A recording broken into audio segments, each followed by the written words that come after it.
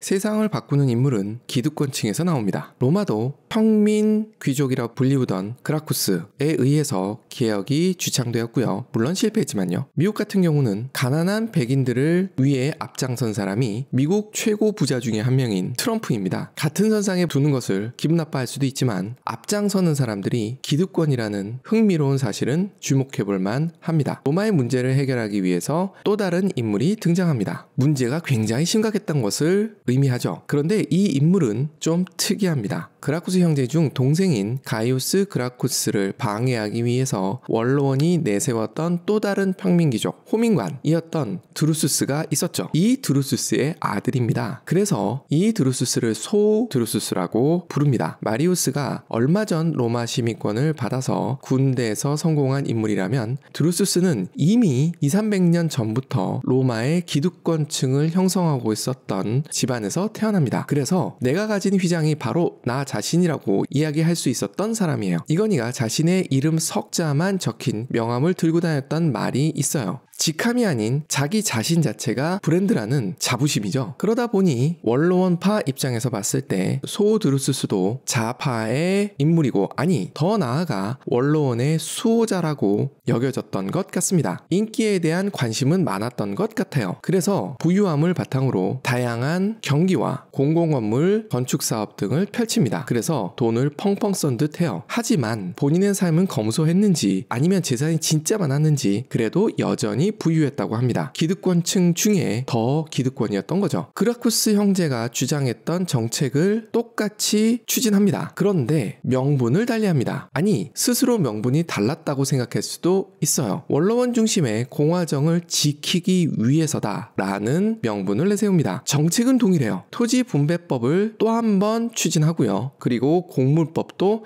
같이 추진을 합니다. 이러한 정책은 당연히 평민들의 인기를 끌어 모으게 됩니다. 하지만 원로원의 눈밖에 날 수 있는 거죠. 그래서 명분으로 원로원 중심의 로마 공화정을 지키기 위해서 사회 안정이 필요하고 그러기 위해서는 빈민구제가 필요하다라는 명분을 내걸었다라고도 볼 수 있습니다. 물론 아닐 수도 있고요. 숨은 평민 지지파일 수도 있는 거죠. 동시에 하나 더 정책을 진행합니다. 새로이 떠오르고 있는 신흥 세력인 기사계급, 경제인 계급이죠. 이들을 포용하 고 동시에 견제하는 정책을 내세웁니다. 이런 모습을 보면 굉장히 균형 감각이 있었던 사람이 아닌가 싶기도 해요. 기사 계급이 계속 커지고 있는 모습을 본 가이우스 그라쿠스는 배심원들을 기사 계급으로 배정을 하죠. 이후 엎치락 뒤치락 합니다만 이 즈음에는 기사 계급과 원로원 계급이 배심원단을 나눠서 채워가고 있었던 시기입니다. 여기에 드루스스는 기사 계급에게 선물을 하나 더 주기로 결심을 합니다. 당시 300석이었던 원로원 의석 을 600석으로 늘리고 늘어난 300석을 기사 계급에게 할당하기로 하는 거죠. 당근이죠. 하지만 동시에 채찍도 휘두릅니다. 경제인 계급, 특히 속주에서 세금을 거둘 수 있는 권리까지 가지고 있었던 기사 계급들은 아무래도 뇌물과 가까이 있을 수밖에 없었던 거죠. 또는 고리대금업을 하고 있었던 겁니다. 이들을 제재하기 위해서 뇌물 관련된 법안을 통과를 시켜요. 역시 마찬가지로 드루수스는 원로원에게 사회 안정을 위해서다 라고 이야기를 했을 겁니다. 드루수스가 권력욕이 있고 없고를 떠나서 드루수스도 미래를 보는 눈은 있었던 것 같습니다. 아니 주변에서 들려오는 이야기에 귀를 기울일 줄 알았던 사람인 것 같아요. 드루수스는 굉장히 영향력 있는 집안의 가장입니다. 당연히 수많은 클리엔테스들이 있을 거고요. 이러한 클리엔테스 중에는 로마 시민권을 가지지 못한 인물들도 있었을 거예요. 이들이 자신과 비슷한 처지에 있는 사람들의 불만을 드루스스에게 이야기했었을 겁니다. 드루스스는 그 이야기에 공감했던 것 같아요. 그래서 새로운 법안을 제안합니다. 로마 시민권 확대 법안이죠. 로마 시민들의 반응은 어땠을까요? 원로원파들도 고민을 했을 겁니다. 평민들은 어땠을까요?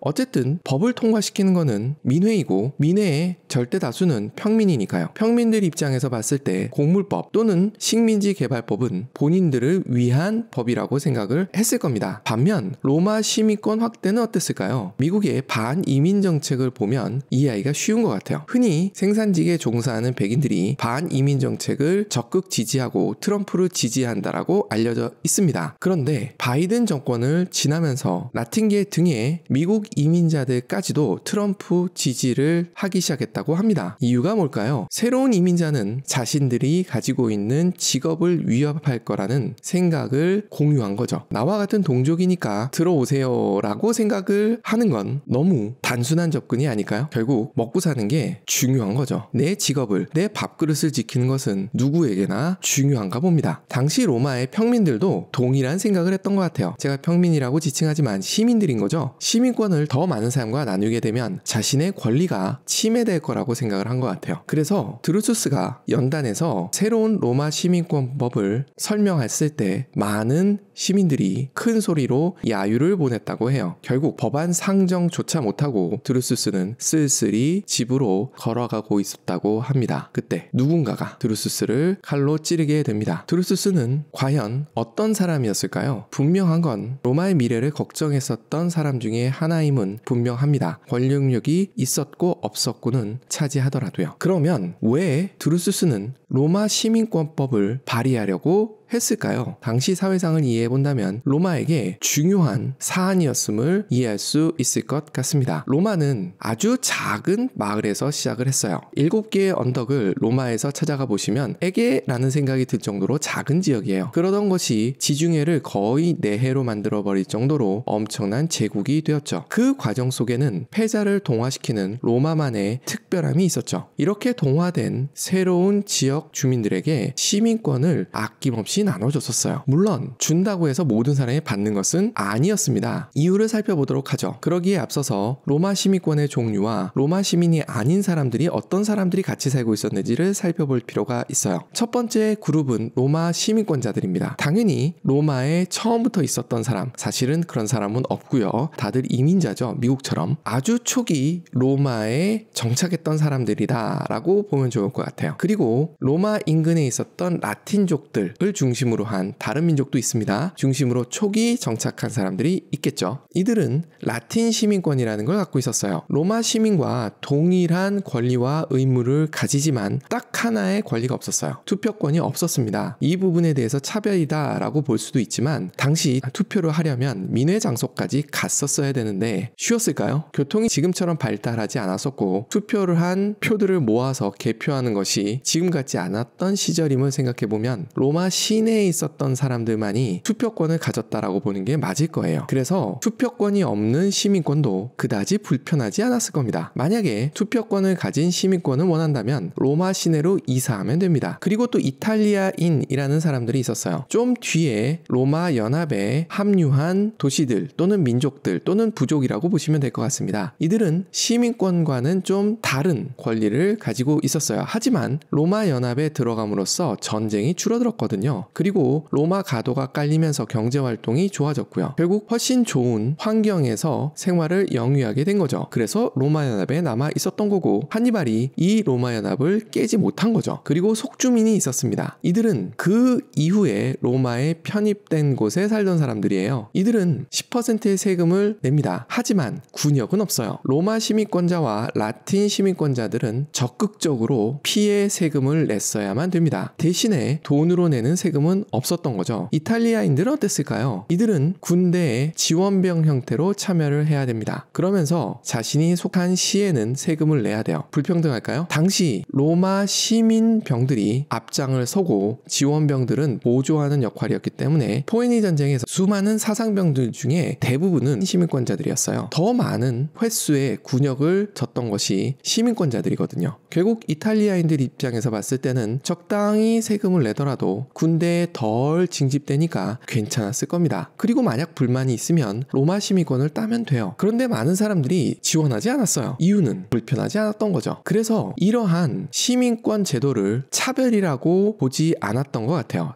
단순히 구분이라고 본 거죠. 왜냐하면 계층 간 이동 사다리가 있었거든요. 심지어 민주주의가 최초로 탄생했다는 그리스에도 없었던 노예가 시민이 될 수 있는 길까지 갖추고 있던 것이 로마거든요. 아리스토텔레스는 부모 중 한 명이라도 아테네인이 아니면 아테네 시민이 될 수 없다는 법에 의해서 끝까지 시민이 아니었습니다. 그것에 비해 로마는 노예 아들이더라도 일정 재산을 모으고 자녀가 있게 되면 해방 노예가 되고 그 자식 아직 때에는 당당한 로마 시민이 될 수 있는 계층 사다리를 갖추고 있었거든요. 은근히 많았다고 합니다. 한마디로 로마 시민권은 열려 있었던 겁니다. 그런데 로마가 팽창을 하면서 상황이 달라집니다. 로마 시민권을 가졌을 때 혜택은 여전한데 의무가 줄어들고 있었던 겁니다. 예를 들면 포에니 전쟁 시절 더 많은 희생을 당할 수밖에 없었던 로마 시민들이었지만 이후 전쟁이 있기는 하였으나 포에니 전쟁만은 하지 않았거든요. 로마 시민들은 의무는 줄고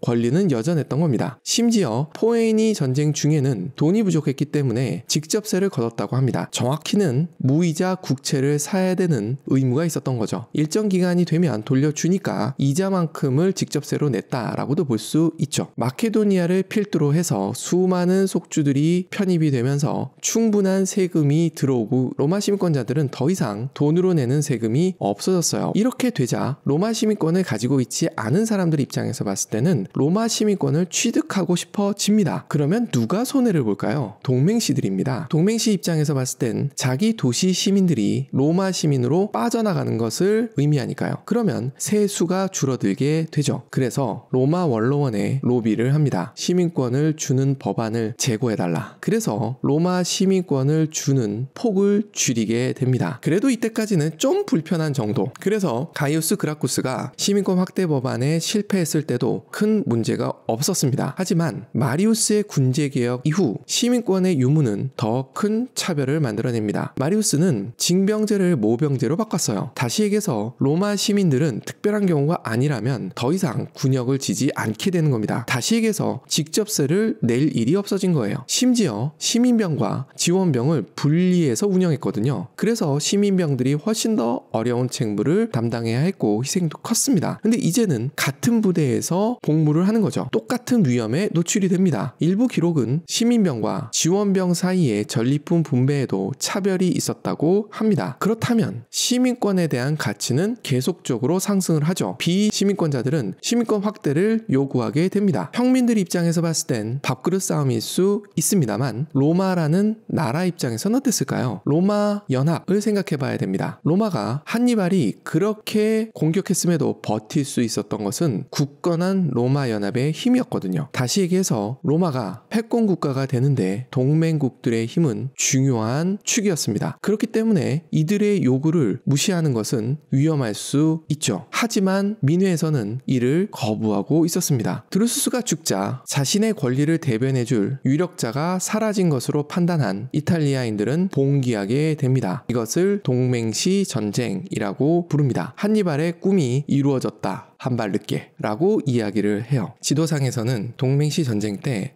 로마의 반기를 들었던 지역을 표시해 두고 있습니다. 전부가 아닌 것을 보실 수 있어요. 일단 라틴 시민권을 갖고 있었던 지역들은 대체로 동참하지 않아요. 왜냐하면 그들도 시민권이 있기 때문이죠. 불편하지 않았던 거죠. 또한 시민권이 없는 그리스계 사람들도 역시 동참하지 않습니다. 왜냐하면 불편하지 않았거든요. 대부분 동참했던 것은 어렵게 살던 동맹시 주민들입니다. 과거의 제도가 잘못된 것이 아니라 새로운 세상이 열렸기 때문에 새로운 무언가가 필요했던 거죠. 하지만 이러한 상황을 직시하고 선제적으로 대체한다는 것은 인간사에서 흔히 일어나는 일은 아니더라고요. 문제가 생기기 전에 조치를 취하면 욕을 먹습니다. 가장 큰 이유는 그 문제가 보이지 않거든요. 반면에 문제가 수면 위에 올라온 상태에서 해결하면 칭찬을 받습니다. 왜냐하면 문제가 보였기 때문이죠. 동맹시 전쟁이 일어나자 당시 집정관 중에 한 명인 율리우스 카이사르가 로마 시민권법을 다시 제안합니다. 우리가 알고 있는 그 율리우스 카이사르가 아니고요. 그 사람의 삼촌 되는 사람입니다. 이때는 민회에서 지지를 받으며 로마 시민권 확대 법안이 통과됩니다. 그래도 로마는 문제가 수면으로 올라오자 로마 연합, 다시 얘기해서 이탈리아 안에 있는 사람들 간의 단합이 중요하다는 것을 인정했거든요. 히틀러는 어땠을까요? 게르만족들의 단합을 위해서 공동의 적을 만들죠. 결과는 모두 다 아시는 그대로입니다. 이때 로마가 히틀러 같은 분열과 그걸 통한 단합을 시도했다면 어땠을까요? 이것은